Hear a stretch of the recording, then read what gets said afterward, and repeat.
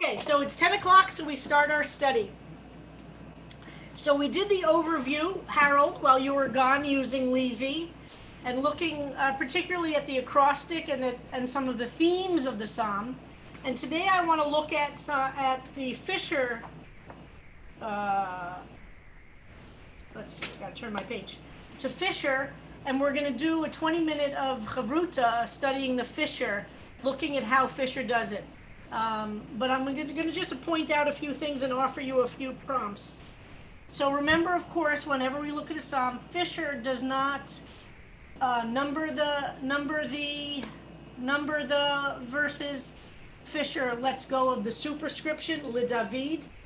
Again, I want you to get disciplined in always looking at a new exploration of the psalm. Again, not a value judgment at all. It is simply to um, it is simply to start to become aware of what the artist, the writer, the composer is doing when they approach a psalm. Um, so Fischer's goal is to do is to write a poem that has spiritual depth for him from his perspective, and to find he does go through it line by line. Usually, we've seen, but he lets go of worrying about, or sometimes it's interesting to see to what degree he does that. Uh, he's not interested in a literal translation. He's interested in struggling with that meaning. So, for instance, but he stays he stays closer than others, like then, for instance, Mitchell or Bernstein, or um, some of the others we we've looked at, uh, Manda. He stays a little closer sometimes, and this is a psalm in which he stays. Uh, it's interesting. So, for instance, the original Hebrew was Elecha Yud Vave Nafshi Esa. Um, I uh, alone, uh, Adonai, to you I look up. My body, my whole life looks up, or I look up. But now he starts with now as I sing. Where does he get now as I sing from? So this is what I love about Fischer. He's just so creative. Where does he get now as I sing? He gets that entirely from the superscription Le David. He's trying to understand why does the psalm even have Le David?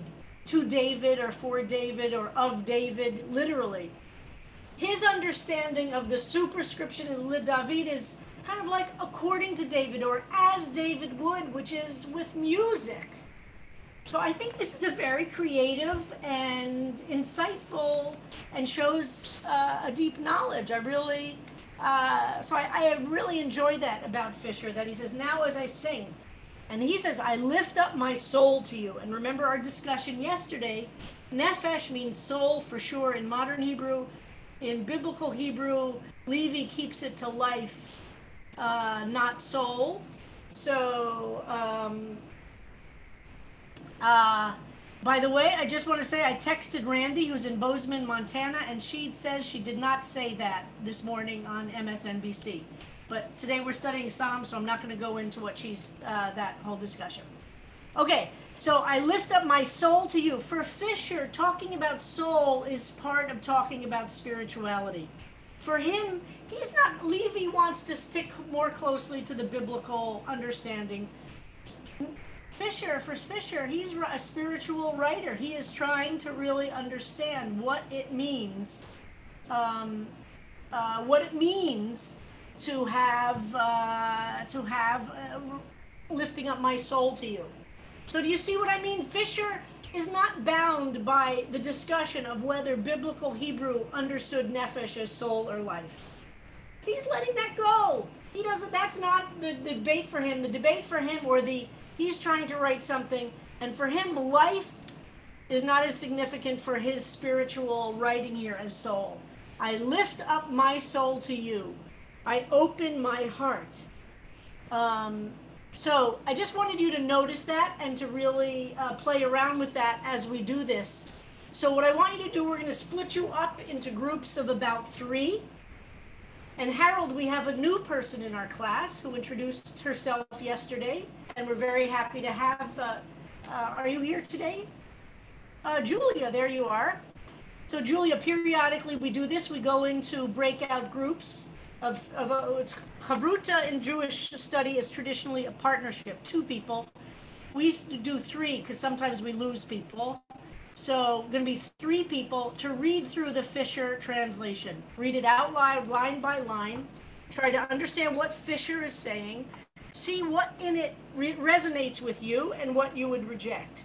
Um, Fischer, you'll see what what does Fischer do differently or the same, and what how do you understand what is Fischer getting out of the psalm itself. Okay, Tosh, can you uh, send us into breakout groups? We're going to do it for about 20 minutes and then come back together. Make sure you introduce yourselves if you don't know somebody else in the class. And if you're in with Julia, make sure you welcome her as our new classmate. Ready? Okay, we're ready.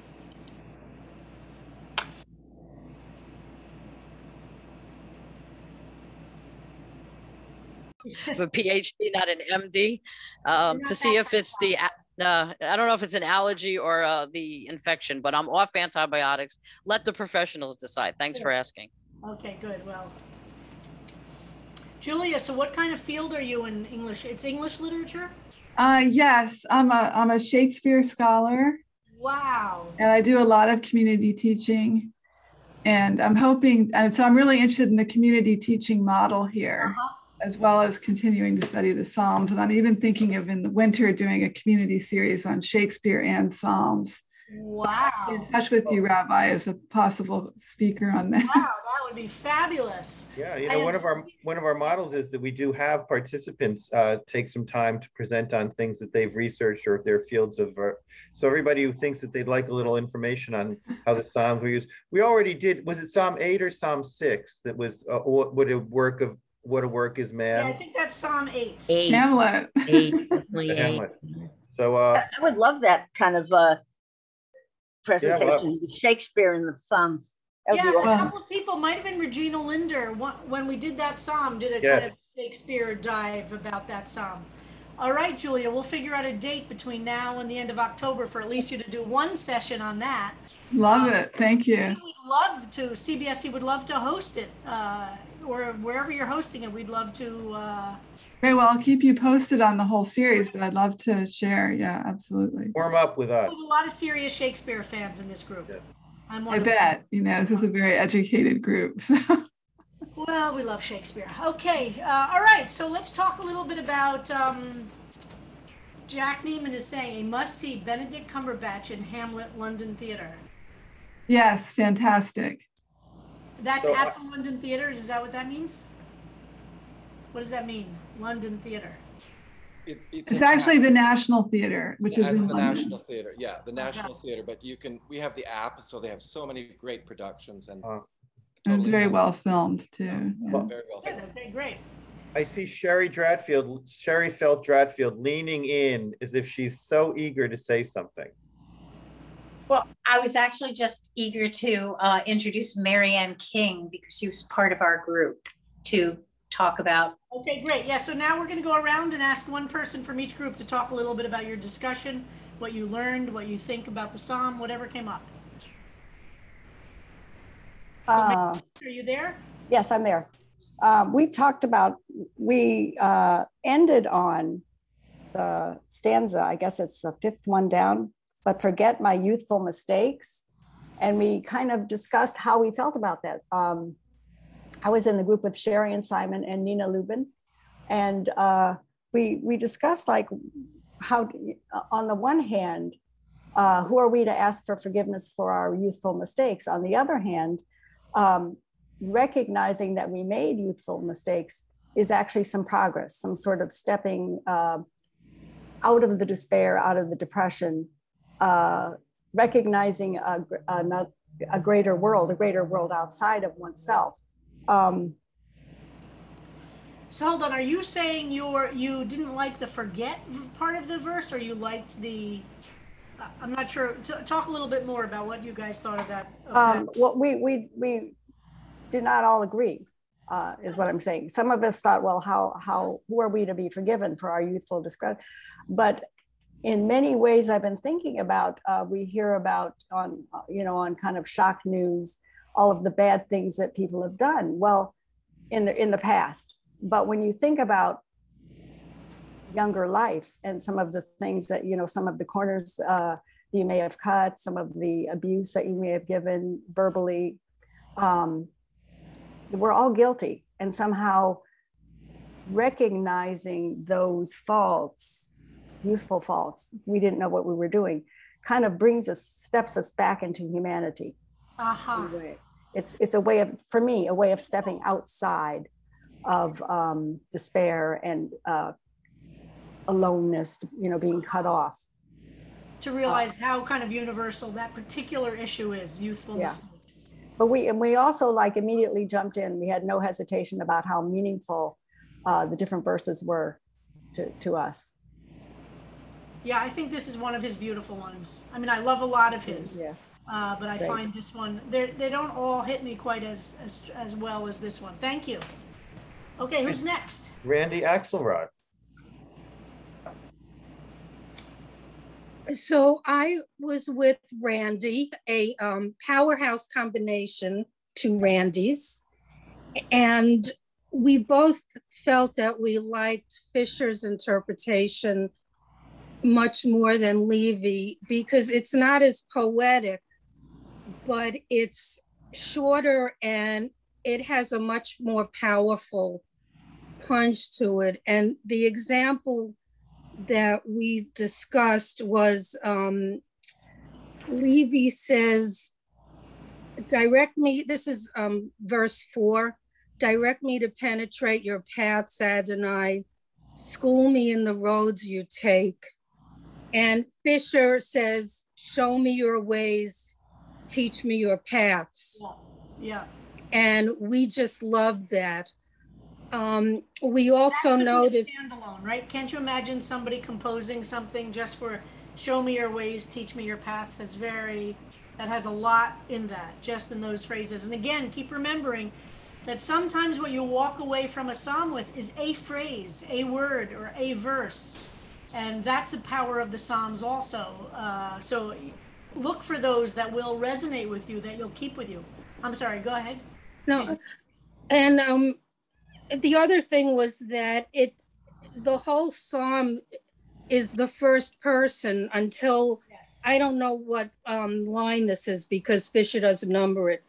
But when he says guide the still There's soul, an on- actually concrete practicality to have the numbers, isn't it? It's a little easier. Yes. yeah and then it says you teach her your pattern. So it changes there from the first person to um, the third person. And those were the main things. Randy, did I leave something out? Well, I want to. I would like to piggyback on what Marianne talked about with that, but forget my youthful mistakes. In the original, it looks like it's talking about the youthfulness of somebody um, not connected to Yud Hey Vav Hey anymore, as opposed to a general forget my youthful mistakes. And that's a very uh, interesting distinction between those two. Um, also, there are no punctuations i- until you see just a uh, question mark and an Uh-huh. explanation point, which I found very interesting in the Fischer. Very good. And folks, I'm sure you also noticed there's no even attempt to look at the acrostic nature of which Levy tried to do in his English and was in the original Hebrew. For Fischer, the acrostic game, so to speak, for Fischer is not is not meaningful. So he lets it go. Uh, Donna Gray, Okay, so I was with um, Betsy and Linda, and um, you know, we got into like first of all, like look thinking about who Fischer meant when he was say talking about you, and um, you know, I um, mentioned that I happened to be at a Dharma talk he gave for this sit I'm signed up for. And so that I know that he, you know, so I said a little bit about the Buddhist idea of looking inside and finding, you know, you have what you aspire to, but then there's what you, um, you know, and then then it came to, um, you know, befriending, looking at what's inside of you in your aspiration to get beyond it. But um, we kind of got into a deep dive of starting with the, the second verse of I know that no one who trusts will ever be ashamed. And I had a hard time wrapping my head around that. Um, but then, you know, we went back to the first verse do not let me be ashamed, do not let it close. So it, um, you know, for me, I got to that it's very much about what we talk about on Yom Kippur about, you know, missing the mark. You aspire, to, but we're, we're human beings, we miss the mark.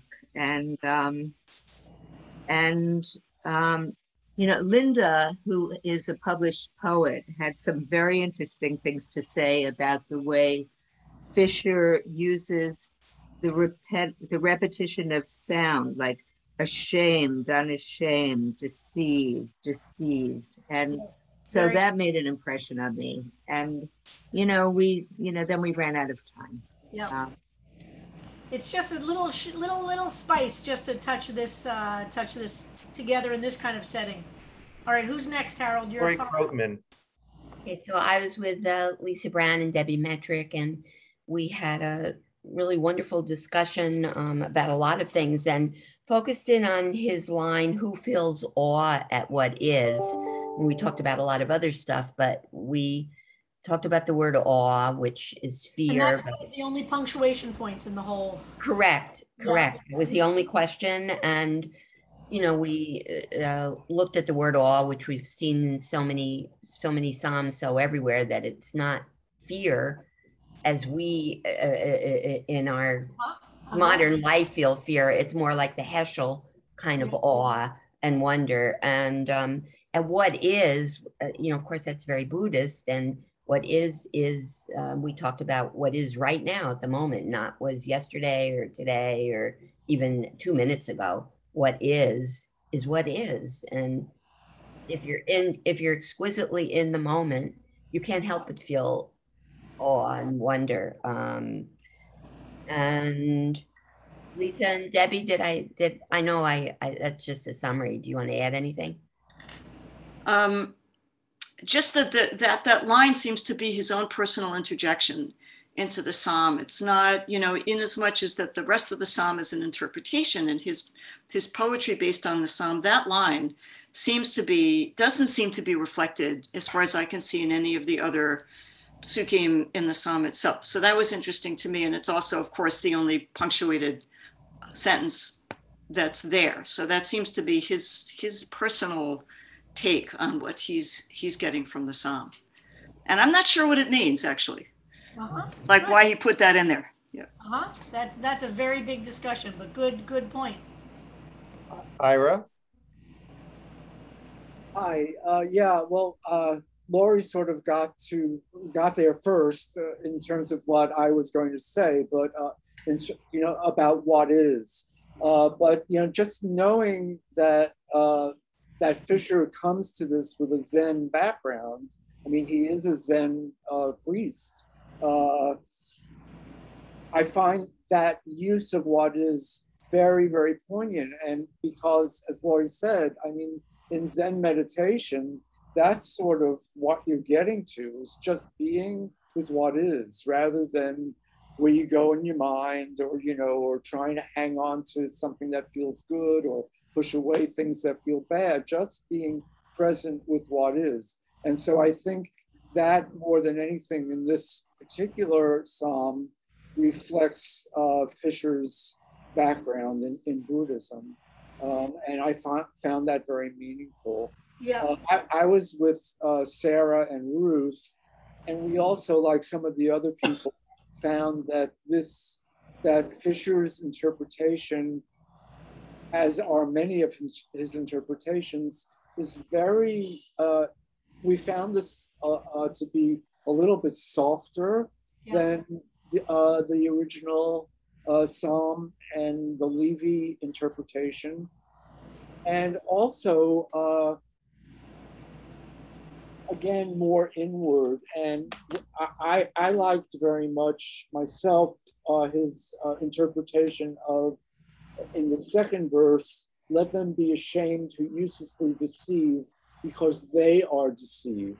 Mm-hmm. And that's throwing in a whole different element of deception uh, yeah. that that there's personal responsibility for for people who are deceptive because they're deceiving themselves. Yeah. Uh, and uh, so again, that sort of little twist shed this verse in a very different light for me and for us. So I, I really appreciated this uh, his his version of the psalm very much.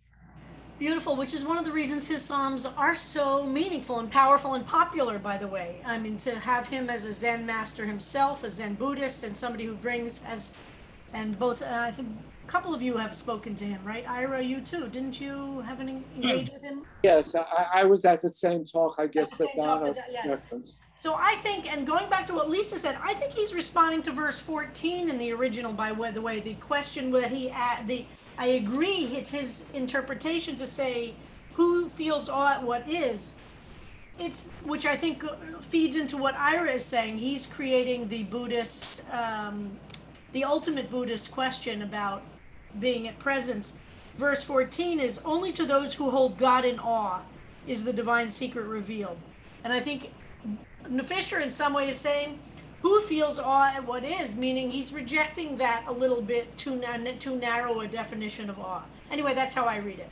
Okay, let's try and see if we can get every group represented. All right, so quickly then, Joan, well, we can't, but Jo- Joan, Joan Well, maybe tomorrow we'll continue it before we go on, because I want to hear from every group. My mother has always said you have to deal with what is. She'll be interested to know she overlaps with a Zen priest. um, I'm studying with Linda Solomon, which I could happily have done all day.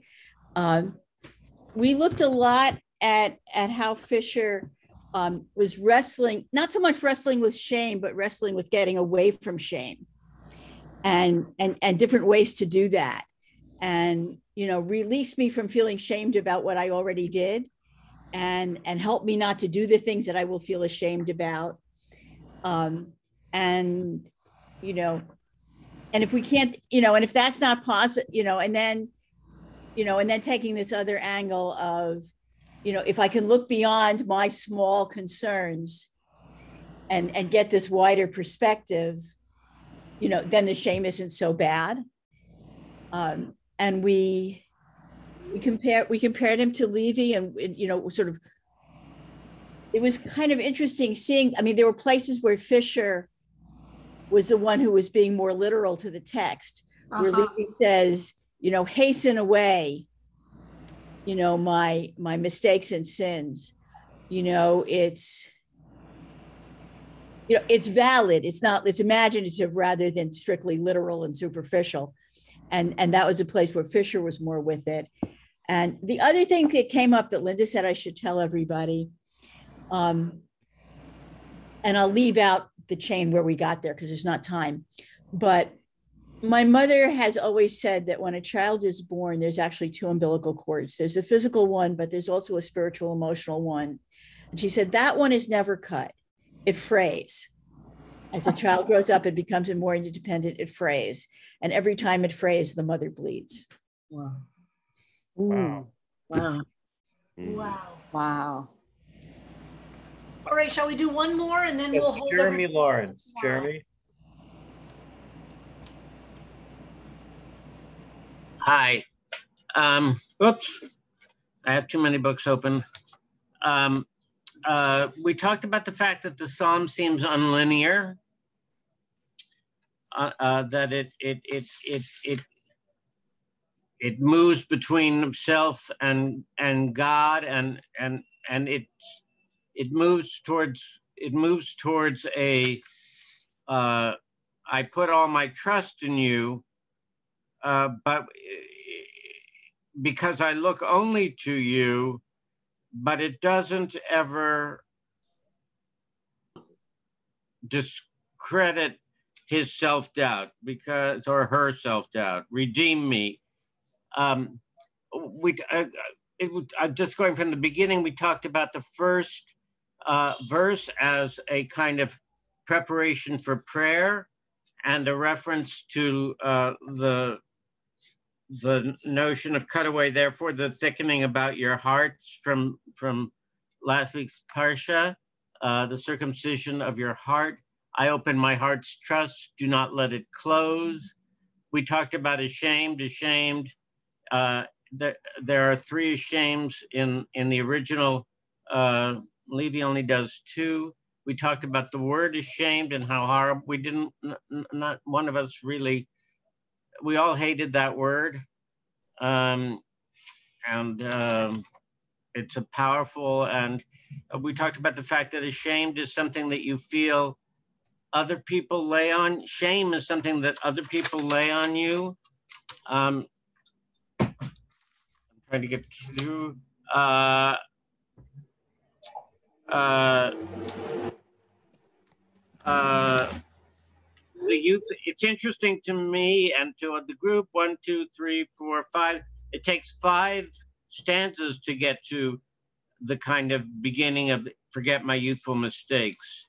Mm uh, that's a long time to start going inward. And um, it, but and once once inside, uh, it gets deeper towards the end.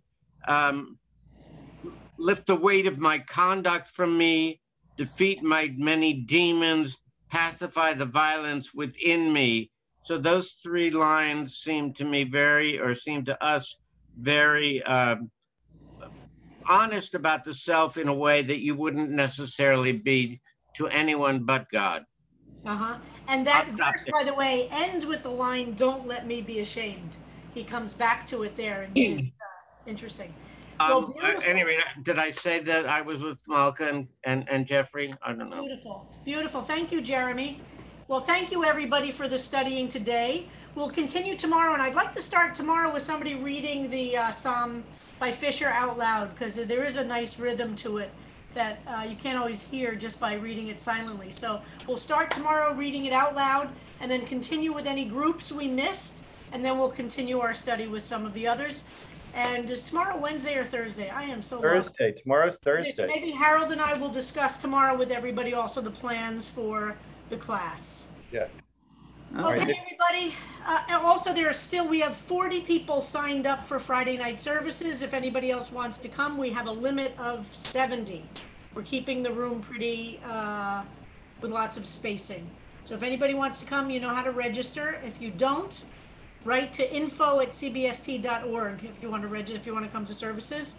Dorina, it'll be a little hard for you to get there, but we would love you someday. Someday you'll come. Okay, bye bye, everybody.